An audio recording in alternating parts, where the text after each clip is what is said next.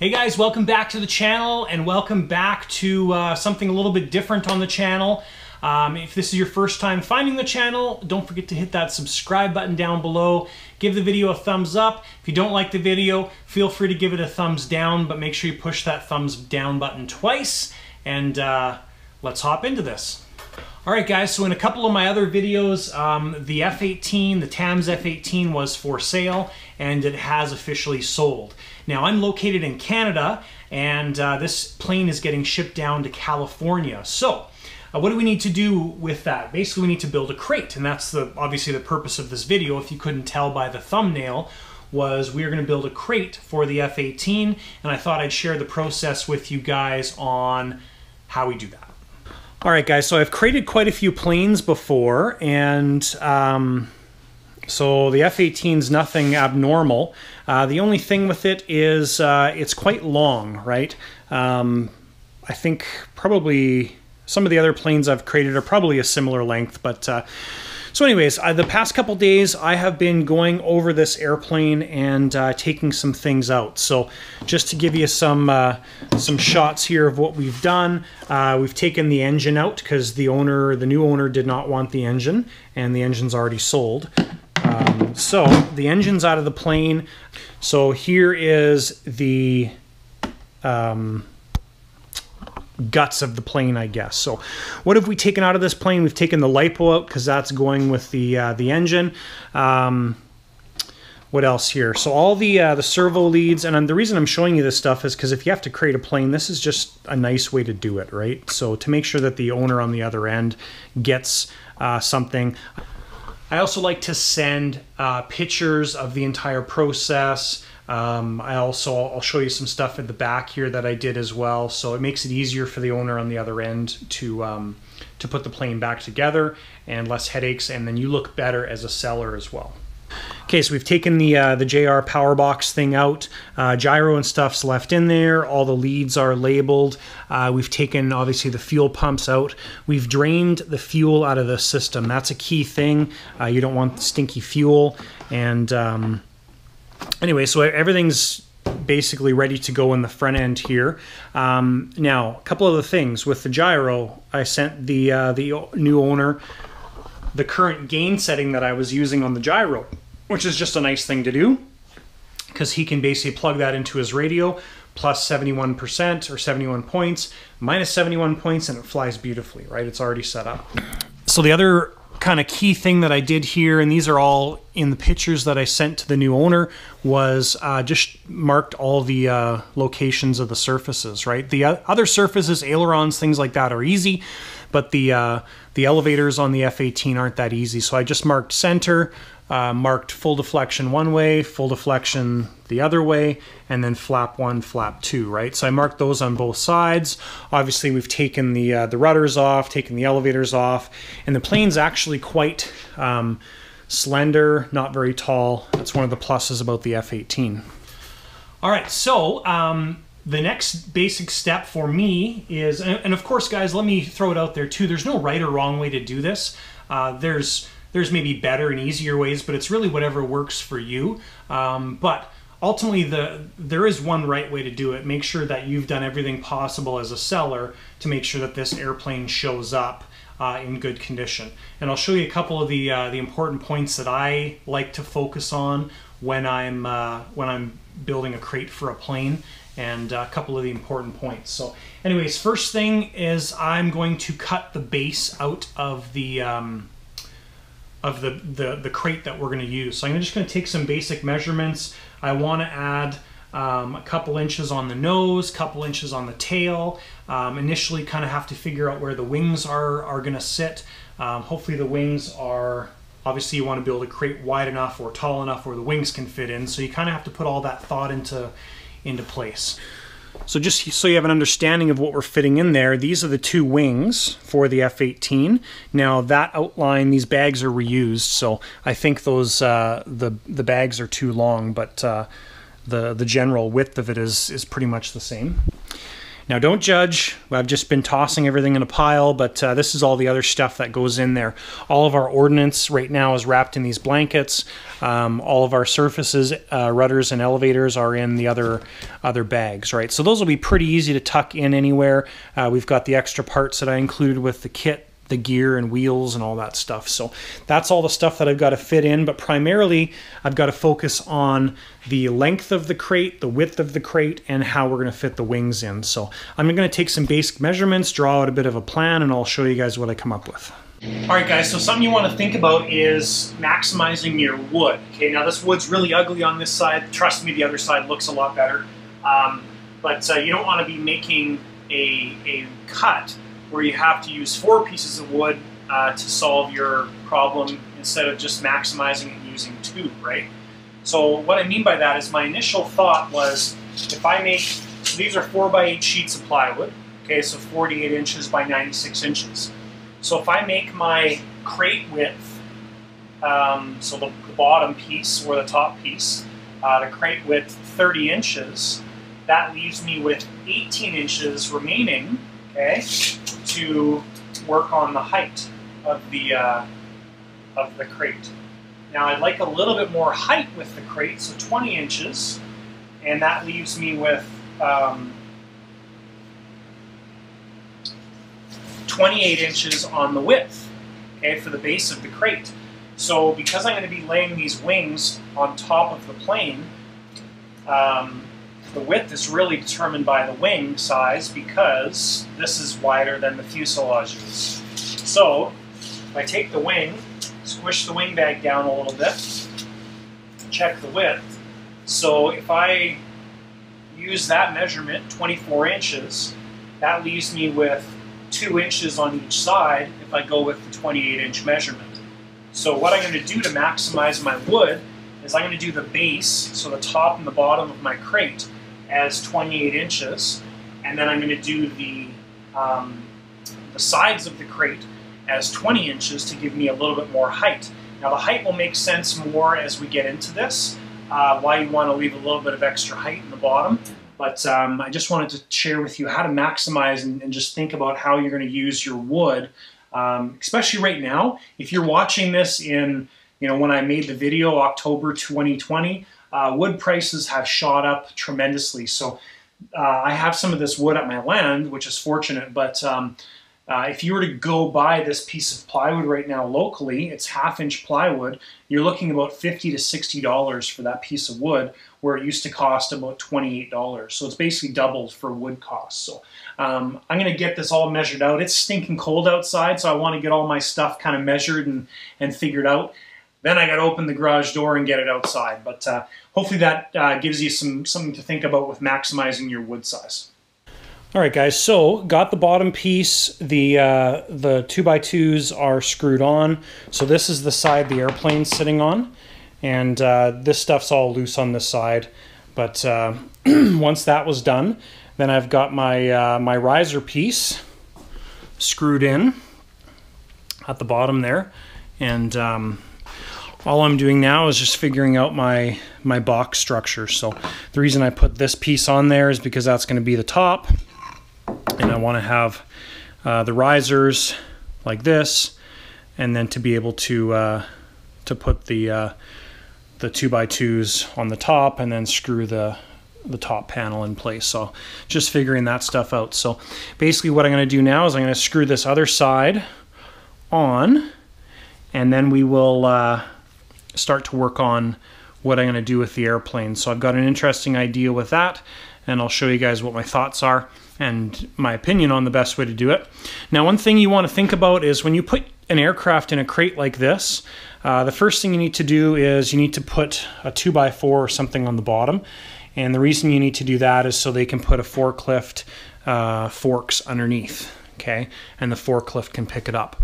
Now, the one thing to think about when you're doing that is if we were to take the F-18, put some foam in the bottom, just stick the aircraft in there, and what happens if the forklift driver, because you know sometimes they're sleeping, they uh, don't go low enough with their forks and boom, jam their forks into the uh, the box and your plane sitting right here, boom, fork goes right into the uh, the airplane. So that's what you want to try and prevent. So the reason I say that is I'm going to actually lift the airplane off the uh, bottom of the crate.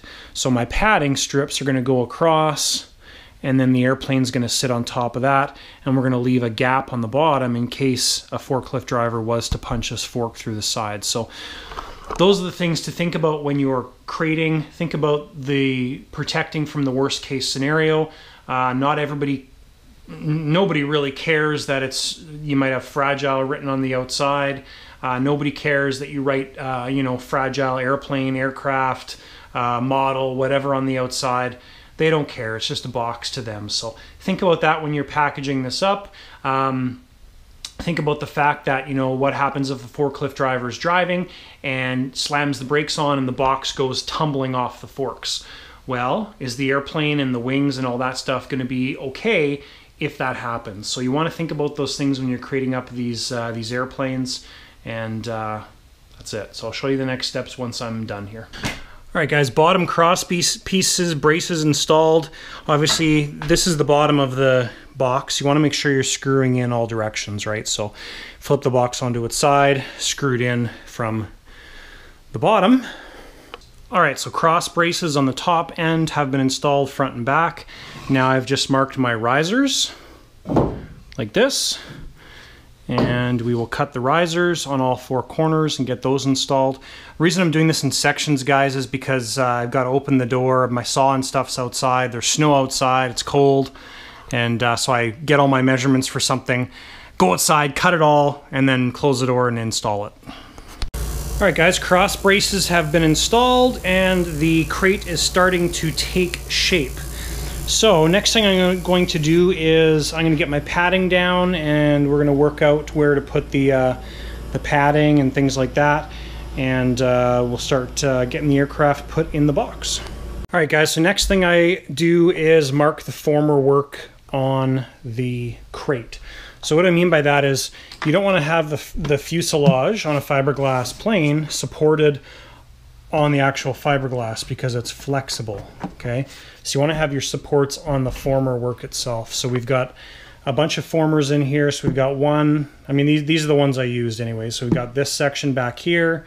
We've got the main one right there, fuselage joint, and we've got one up front here as well. So what I've done is I uh, took the overall length of the plane, marked that on the box and split the difference. So we got two and a half inches uh, between this piece, uh, front and back, so it's the same measurement on the front. So I've centered the plane in the box, and then I started from the rear, worked my way forward. So we've got former number one, two, fuselage joint, and front right there. So what I'm going to do now is I've got this uh, this thick foam. Uh, actually, it's gymnasium flooring material is what it is. But uh, I'm going to use this and lay down pieces in the bottom of the box and uh, that'll create my support system initially for the airplane. Uh, a couple other things that I'm going to do for the airplane is get the canopy back on, get the, the rear back on, wrap the canopy in bubble wrap. Uh, most likely actually wrap the entire plane in bubble wrap, but we'll do an extra layer on the canopy. Bubble wrap's all right there. Uh, we want to tape the gear doors closed because they'll be uh, they'll be sitting in the blank space there in between the former places. We don't want them to drop down and have a forklift leg puncture and wreck one of the doors, so we'll tape all the doors shut with uh, masking tape, and uh, that's the next step. All right, guys, so there is an example of what we don't want to do. So we don't want to just have one layer of padding, put the plane on it, and have not a very big gap, right? Guys, so we've got the canopy wrapped. We've got the first layer of bubble wrap in there. So what we're gonna do now is we're gonna take the plane, place it inside of the, uh, the box, and then we'll get the bubble wrapped, uh, bubble wrap nice and wrapped around it. Probably put another layer on top, and uh, then we'll work on getting the plane strapped down next. Guys, so one thing I like to use when I'm boxing up a uh, a plane is I like to use canned foam, spray foam. Uh, works really well to glue things down. Obviously it expands. It's pretty slick. So anyway, as you go like that, grab your foam padding.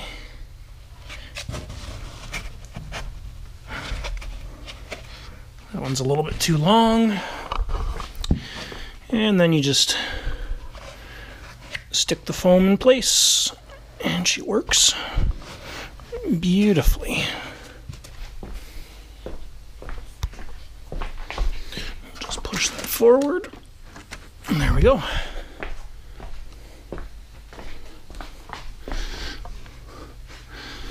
So that works good. We've got a nice thick layer on the nose cone there, which is awesome. Um, once we get the plate on the rear of the uh, the box, then we can add some pieces in on the tail cones as well, and uh, that'll hold that all together. So next thing I want to do is I want to work on the the strap system, or the system to uh, to hold everything in place. So we have a couple options when it comes to that stuff. Um, we can use actual fabric strapping. Um, you can put it in a couple different places. The only key with that is you want to make sure that the plane's not going to slide, right? Which is why I put those bumpers on the front and the back. Um, and then you just have to be careful, obviously, where you're strapping it down. You probably want to strap it down on the formers as well. So all I'm going to do there is you can just screw the strapping down here, have it come up and over, and uh, and hold everything in place. So uh, we can use strapping. The other thing you can do is you can put um, cross pieces made of wood screwed into the, the sideboards and have those adding a little bit of compression as well too. The benefit of those is obviously they're adding more strength. We're probably going to use both and the reason we're going to use both is because then when we put the wings in here, the wings are actually resting on the uh, the cross pieces and they're not resting on the fuselage. So we basically make this into multiple compartments. So next thing I'm going to work on is just doing my strapping. I'll show you the, uh, the final product here. All right, so I cut this end piece. Um, that's all screwed in place. So now I'm going to uh, fit my, uh, my padding in the back here and we'll get that, uh, that um, glued or spray foamed in place. Same, uh, same type of scenario as we did on the front. All right, so the rear end is done there, guys. Um, I had a little bit thicker foam, just this one piece. So it's, uh, I think, two inch foam. So I used two inch, two inch, and that uh, worked out perfect to hold the, uh, the airplane in place or the tail cones in place. Now keep in mind, I'm just using what I have. So I had this piece of quarter inch ply that I cut the back end from. The reason I use the quarter inch on the back is because we've got the uh, plywood holding the, um, the foam in place. I had an extra couple pieces of uh, this Luan stuff from my trailer build, and uh, so I use that on the front because all the support is by those three quarter inch piece of plywood down there as the cross braces. So this is just to uh, to close the crate basically. So okay, so now with the uh, the front and the back done, uh, now I'm going to work on the straps. All right, so you can see the straps I added across the back here. And uh, obviously, you're you're being careful with the amount of tension you add. Um, you don't want to crush the airframe, so I just use these. Uh, where are they? Roofing siding screws. They're inch and a half long. They've got the washer on them as well. And I just get one side um, done down quite tightly, and then add tension on the other side. So that will uh, that'll work good. I'm gonna add another one across the main body, and then we'll put one across the nose as well or we might just put two across the main body. I'll have to see what uh, what works out here. Um, I'm just using this. I rated my wife's sewing stuff, so I'm just using this Velcro, uh, the sew-on Velcro that I found in the basement, and it's working good as strapping. All right, guys, so I played around with this a little bit, and I figured out what I'm to do. I'm to add these two cross pieces, and then the main wings can actually just lay over top of the cross pieces. I'm going to put the other uh, surfaces in there as well too. And then we will uh, probably just strap everything down with some more strapping material across the uh, cross pieces. So that's the plan for that section. And then once that's done, uh, we just need to figure out where we're putting the rest of the ordnance, which is probably going to go somewhere in here. Um, obviously, we don't want all the weight on the back of the crate, but uh, that's where we're at. So I'm going to screw those in from the side. So before the plane's ever going to come out, right, those need to unscrew. All right, so I want to add some handles on the end of each of the crate, uh, each end of the crate. So what I've done is I've taken some old airline from a compressor hose and take some rope. We're just going to drill two holes, put the rope through all this, and then we've got a handle to deal with uh, whether it's shippers or the owner on the other end, and it's going to make life easier. All right, guys, so cross pieces are installed. Um, I put the padding underneath. The padding is uh, it's there, and what I did was add a little bit of pressure, put a screw in one side, add a bit of pressure, screw in the other side. So it's uh, it's snug, but it's there's not a lot of force pushing down. Right, same thing with that side. So those are done. Um, then I put four cross pieces in to hold any side loads.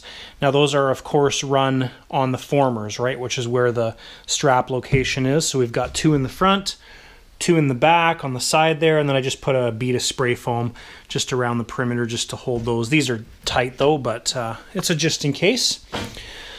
Okay, so we've got uh, a few things left to deal with here in the fuselage. So Wings go on top of these platforms. That's a nice spot for them.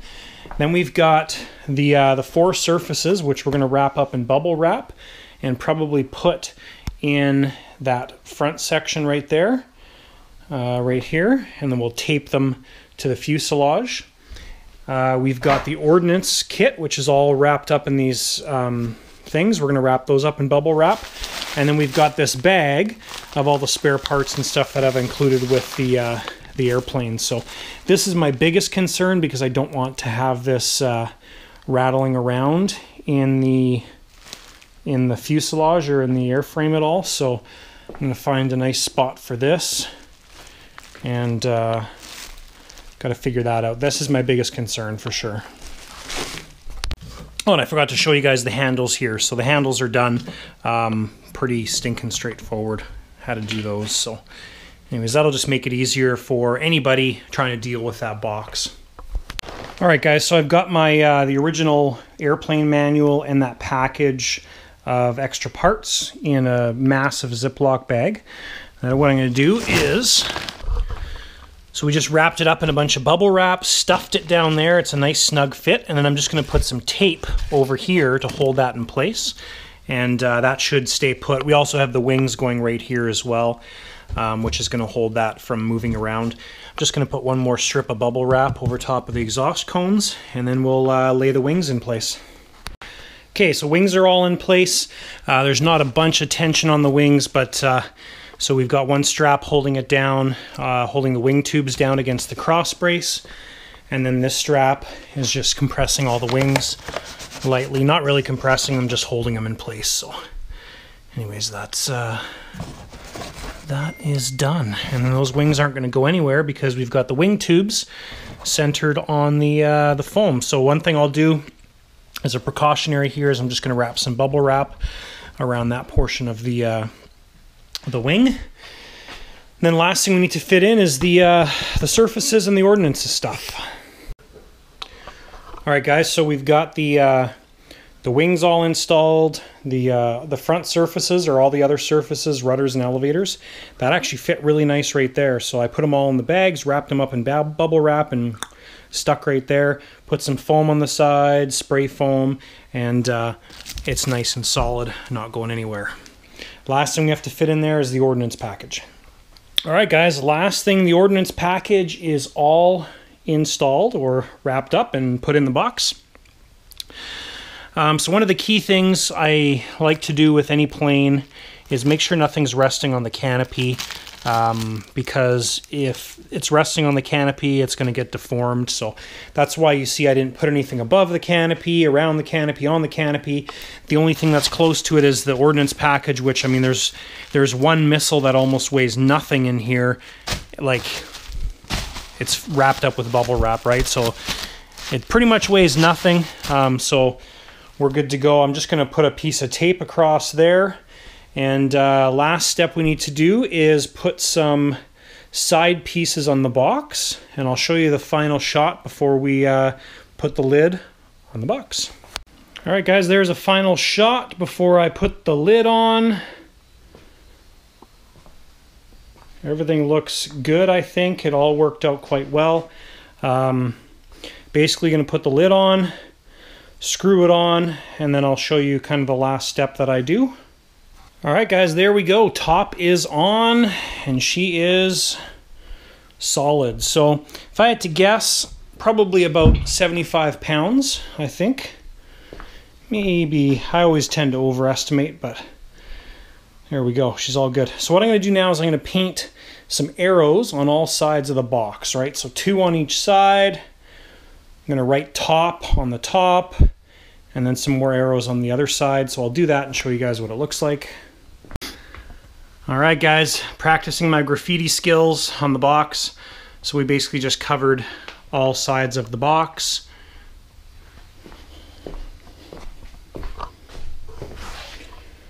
with arrows so we know which way is up. Wrote on the top of the box, top. All right, so fairly straightforward. And that is a shipping container. Guys, and I almost forgot one last thing is we need to put the uh, the forklift spacers on the bottom. So basically you just want to have something like a two by four. I'm going to use these uh, two by twos on the bottom just to add some space for the forks to go underneath. So I'm just going to turn the box on its side and screw those pieces on. All right, guys, I hope that this video helped you out. If you are looking at building or shipping an aircraft or anything fragile, really, um, I find that this is a great method to do it. Um, the people that receive the airplane or the whatever you're shipping really appreciate all the time and effort that goes into proper packaging. I know when I have received products, I really enjoy when they've actually put some time and effort into the packaging of the item that you're getting, especially something like a plane, something fragile. Um, you know, it's always different when you're shipping a complete plane versus um, like a manufacturer shipping you an airframe. Way different. You've got uh, you know stuff in the aircraft. It's a lot heavier, so there's a lot more to think about when you're um, when you're dealing with this kind of scenario. All right, so if you guys have any suggestions on how to do this better or ideas that you have, please list them down below. Now keep in mind when I was doing this, um, what did the actual materials cost me? Uh, basically, I'll say nothing, but you know, I, of course I paid for them at some point, but um, you know, all this wood was I either had in my garage or it was out at our piece of land for our house construction. Um, with that, of course, if you guys check out, uh, if you're interested in seeing our house build, I'll put a link to the uh, the playlist down below. It's on my other YouTube channel. So anyways, there's a link down below under house build, so check it out if you're interested.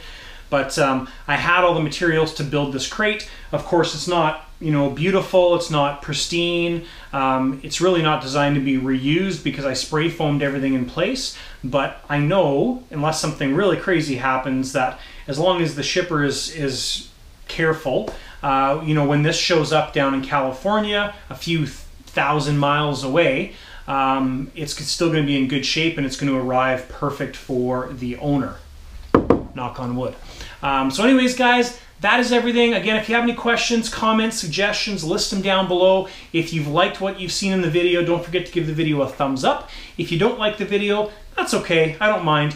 Give the video a thumbs down, but when you do that, just make sure you push the thumbs down button twice. All right, guys, thank you so much for tuning in. Have a great day. We'll see you in the next video.